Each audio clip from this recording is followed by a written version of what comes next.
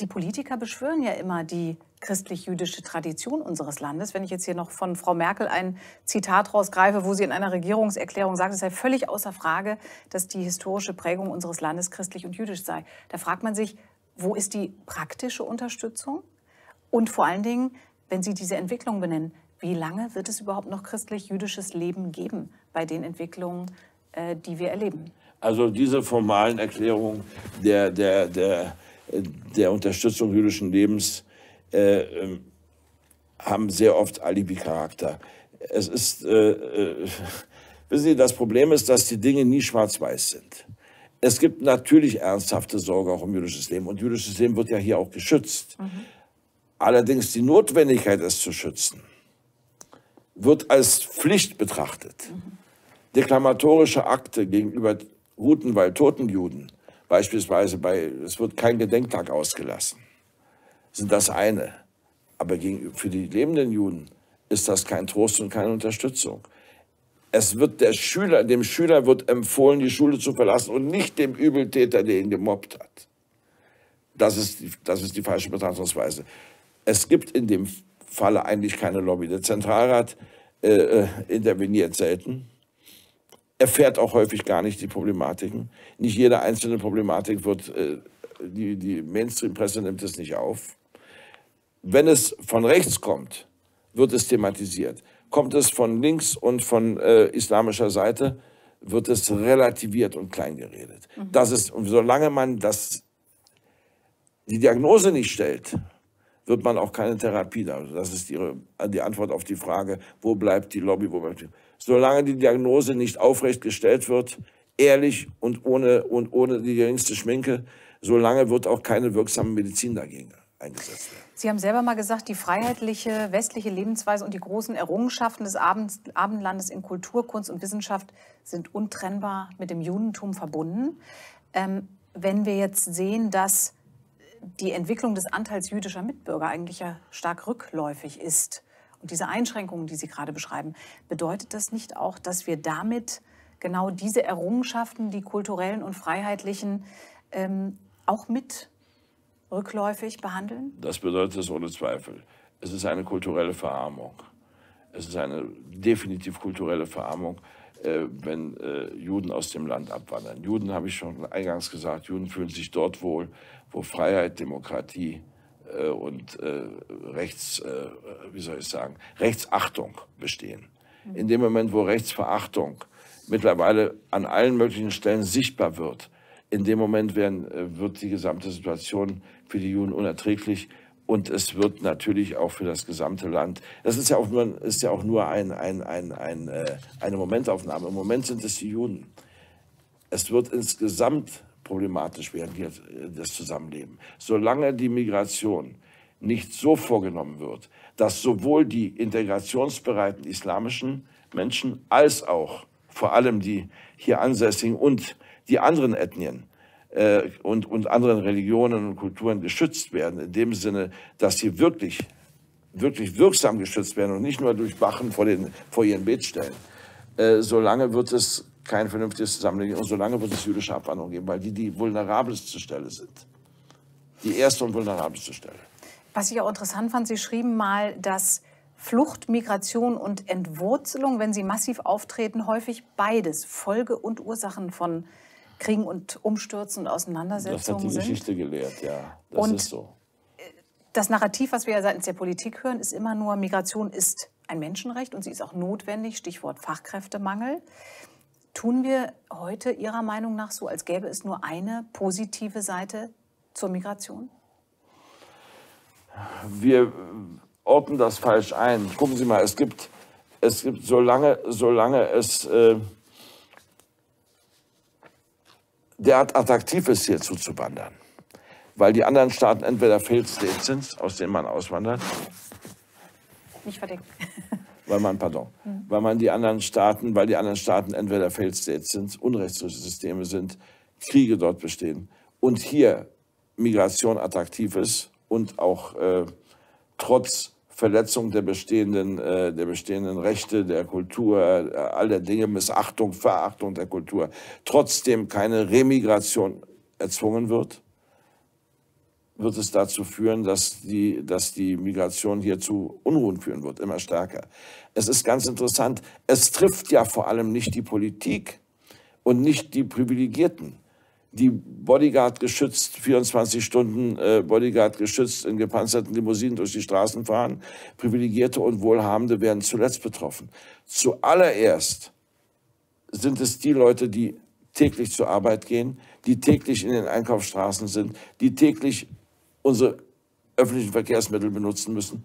Sie finden unsere, auch unsere Grünen Abgeordneten nicht in öffentlichen Verkehrsmitteln, mhm. auch nicht auf Fahrrädern. Mhm. Sie finden sie vor allem in Limousinen. Und die merken nicht, wie sehr eigentlich das tägliche Leben mittlerweile sich verändert hat. Heute ist ein Ausflug in die Fußgängerzone fast ein Abenteuer. Eine Fahrt mit der U-Bahn oder S-Bahn. Es gibt kaum noch Eltern, die nicht sagen, bitte pass auf in der S-Bahn, es ist gefährlich. Solange das so ist, wird quasi, und die, und die Privilegierten das nicht einsehen, dass ihre, dass ihre, dass ihre, der untere Teil der Bevölkerung, der einkommensschwächere und der weniger privilegierte Teil der Bevölkerung, der Leidende ist, solange werden sie auch nicht äh, äh, verhindern können, dass sich dort Veränderungen ergeben, dass das auch ein Abdriften nach rechts bedeuten kann. Mhm. Entscheidend ist ja auch, was das Thema Migration angeht, das Thema Integration. Das fand ich sehr interessant, was Sie über Ihre eigene Biografie geschrieben haben, nämlich, dass Ihre eigene Integration in Deutschland der Disziplin und der klaglosen, ohne ständige Schuldzuweisung an andere auskommende und ohne sich selbst bemitleidende Wehleidigkeit gelebte Entbehrungsbereitschaft ihrer Eltern äh, geschuldet ist, den Kindern den in eine integrierte Zukunft äh, zu ebnen. Ein langer geschriebener Satz. Ich will ihn mal ganz ja. kurz äh, vielleicht etwas entschärfen, diesen lang. Wenn man ihn liest, dann ist es einfacher. Äh, ähm, ganz einfach. Man kann herkommen und eine Anspruchshaltung entwickeln, ohne Leistungsbereitschaft und sagen, ich muss das alles bekommen. Das ist das, was ich hier häufig beobachte. Was die alteingesessenen muslimischen Freunde, die ich habe, auch beobachten an der neuen Migration. Eine Erwartungshaltung, die nicht mit einer eigenen Leistungsbereitschaft gekoppelt ist. Mhm. Mein Vater dagegen hat zu mir gesagt, und ich sprach kein Deutsch. Mein erstes Diktat in, in, Deutschland, das war eine Katastrophe. Feuer, F-O-J-E-R. Wie soll ich wissen, dass die EU ein diakritisches Zeichen für Eu ist? Wusste ich zu dem Zeitpunkt nicht gesagt, dann setzt du dich hin und liest und lernst die Sprache. Und ich habe sie, man kann mich mittlerweile einkaufen schicken, ich habe sie gelernt. Ja. Das heißt, ich habe, er hat vor allem Leistungsbereitschaft und dann aber eine, und dann erst das Fordern von der Gesellschaft gestellt. Das ist galt das, was ihn. vielleicht auch gesellschaftlich fehlt, dieses Thema Eigenverantwortung, also gesamtgesellschaftlich und auch mit Blick auf das Thema Integration? Ja, das ist es. Es ist eine Integrations- nicht nur eine Integrationsunfähigkeit, die glaube ich gar nicht, dass die gegeben ist. Ich glaube vor allem eine Integrationsunwilligkeit ist das Haupt. Wieso sollen wir uns hier integrieren? Wir kommen hierher und das ist besonders bemerkenswert, dass die Leute Länder verlassen, in denen sie die Länder wegen der dortigen unmöglichen Strukturen verlassen, wegen der unmöglichen Zustände und dann dieselben Zustände wieder hier herbeiführen wollen. Das ist völlig irre. Also mein Vater hat gesagt, das Erste, was du tust, du bist gut in der Schule und du lernst. Und wenn du lernst, dann hast du auch Aussichten. Und solange das im Elternhaus nicht sozialisiert wird, wird es Integrationsunwilligkeit geben und die wird automatisch zu den Spannungen führen, wie sie heute jeden Tag weiter auseinanderklaffen. Messerattacken, sieben, acht Stück am Tag, die kaum noch thematisiert werden, über 3000 Messerattacken. Das ist eine, eine, es gab schon mal Messerangriffe, aber eine Verbrechensart, die gab es gar nicht vorher. Das ist neu. Das liegt an den sozialen Spannungen, die dadurch entstehen, dass Anspruchshaltung und Leistungsbereitschaft auseinanderklaffen. Und das war mir untersagt worden. Vielleicht noch zwei Fragen zum Abschluss. Ähm, wenn Sie jetzt die Zukunft des europäischen Kontinents betrachten, ähm, wie sehen Sie jetzt mit der Demografie, die wir haben? Sie haben es eben mit Blick auf die Schulen gesagt, die Zukunft für jüdisches Leben in Deutschland. Ich sehe äh, es eigentlich fünf Minuten nach zwölf wenn das so weitergeht, die Entwicklung, dann ist jüdisches Leben, Sie brauchen doch gar nicht, äh, äh, wieder, gar nicht mich dazu. Gucken Sie sich doch mal die äh, Staaten an im, im Mittleren Osten. Da waren überall blühende jüdische Gemeinden. Die sind entweder dezimiert oder vollständig verschwunden. Mhm. ob das Syrien ist, ob das die Türkei ist, ob das, ob das der Iran ist. So viel Juden, jüdisches Leben gab es in diesen Staaten. Das ist verschwunden.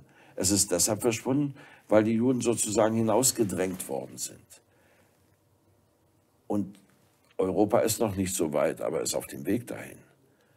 Und vor allem, es wird äh, deshalb falsch gehandelt, weil man meint, dass man mit einigen Gedenkveranstaltungen das äh, aus der Welt schafft. Das ist nicht das, was gefordert ist. Wir brauchen keine Gedenkveranstaltung für tote Juden. Wir brauchen effektive Aufklärung und vor allem drakonisches Verhalten beim Zuwiderhandeln gegen soziales Zusammenleben mit den Juden, aber auch mit den Christen hier. Denn wenn die Christen glauben, sie können sich zurücklehnen, das sei ein jüdisches Problem, dann täuschen sie sich sehr. In dem Moment, wo die, wo die Waagschale umschlägt und sie wird umschlagen. Und wenn man dafür auch heute nach rechts verortet wird, wenn man das sagt. Wir haben bis, äh, wenn ich, äh, da weise ich mal auf meine jüdische Rundschau, wir haben eigentlich die Dinge, die heute da sind, schon vor Jahren geschrieben, die heute jeder sagt. Sogar die Zeitungen, die uns damals widersprochen haben, räumen es heute ein, ohne uns natürlich deshalb jetzt in irgendeiner Weise zu sagen, ihr hattet recht, das räumt keiner ein. Aber es ist genau das. Und heute kann man schon voraussehen, dass über Jahre, wenn diese, muss ja nur extrapolieren, wenn diese demografische Entwicklung weitergeht, es auch ein Problem nicht nur für die Juden sein wird, sondern auch für die christliche Umwelt. Mhm. Sehen Sie da, äh, weil sich das vermutlich auch die Zuschauer fragen, ähm, etwas, was jeder Einzelne dazu beitragen kann, um, ich sag mal, die europäische, die deutsche Zukunft für ein friedliches äh, Zusammenleben und auch eine prosperierende ähm, nicht die Parteien, nicht die Parteien wählen. In einer Demokratie kann man die Zustände ändern mit einer Wahl. Mhm. Nicht die Parteien wählen, die dieses Problem nicht erkennen. Ich für mich, äh, auch wenn ich vielleicht deshalb angegriffen werde, äh, gilt die 3G-Regel. Grün geht gar nicht. Erkennt es überhaupt nicht. Mhm. Es ist ein Problem, wenn Frau Roth bei, der, bei der Abstimmung über die, wenn Frau Roth wurde? bei der Abstimmung über die BDS-Veranstaltung äh, äh, sagt, sie teilt nicht die Ansicht des Bundestages, obwohl es eine klare antisemitische äh, äh Bewegung ist. Und sich dann äh, mit dem indonesischen, äh, äh, mit den indonesischen Antisemiten zusammentut und auf der Documenta Dinge ausstellt, die unfassbar sind. Unfassbar. Die den Stürmerstil. Julius Streicher wäre stolz gewesen. Das ist unfassbar. Und solange das eben so ist und man das nicht erkennt, sehe ich da keine Abhilfe. Die Abhilfe jedes Volk hat letztlich die Regierung, die es verdient. Und man kann sich anders verhalten im Wählen. Jetzt äh, gibt es ja Lichtblicke, die, es sinkt der Stern und äh, wir müssen darauf achten, dass wir unsere freiheitlich-demokratische Grundordnung, unsere westlichen Lebenswerte, unsere Kulturwerte, die wir haben, und wir haben viele, dass wir diese Kulturwerte erhalten. Und das können wir nur, indem wir uns dadurch wehren, dass wir vernünftig wählen. Ich glaube, das ist ein gutes Schlusswort. Herr Dr. Kornsicher, ganz herzlichen Dank, dass Sie hier waren. Es war ein sehr lebhaftes, tolles Gespräch. Danke sehr. Vielen Dank. Danke sehr. Und, ich danke äh, Ihnen, dass ich eingeladen war. Das war sehr nett von Ihnen, dass Sie an mich gedacht haben. Danke. Danke sehr. Und liebe Zuschauer, vielen Dank fürs Einschalten. Bis zum nächsten Mal.